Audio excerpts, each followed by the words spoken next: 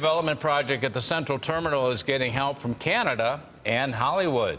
The Central Terminal is being brought back to life, but it will not be a train station again. News 4's Rachel Monjovi went there tonight to learn more about plans for this landmark building. Don and Jackie, not only will the Central Terminal be revamped, it will be a multi-use property on Buffalo's east side, and it will even be featured in an upcoming film. Construction crews are hard at work upgrading Buffalo's historic property, the Central Terminal. Filmmakers are spending $70,000 on renovations to shoot scenes for the motion picture Marshall. They're filming here in mid-June basically because they can set up multiple sets on site. The site's so big.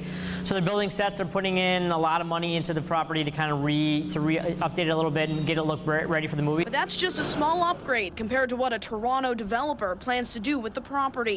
Stinson Developments will be restoring the terminal, turning it into a 200-room boutique hotel hotel, farmers market, office spaces, and incorporate shuttle services while adding up to 500 new townhouses and semis to the surrounding area. It's a magnificent structure in the middle of nowhere.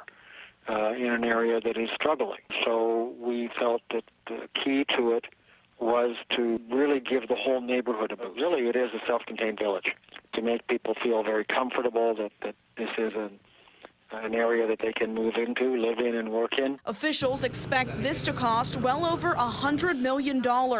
And while the 523,000 square foot building will be completely utilized, the structure of the concourse will stay. That's the whole point. That's the appeal of it. The, the structure needs to be to be uh, restored, enhanced, uh, upgraded, modernized.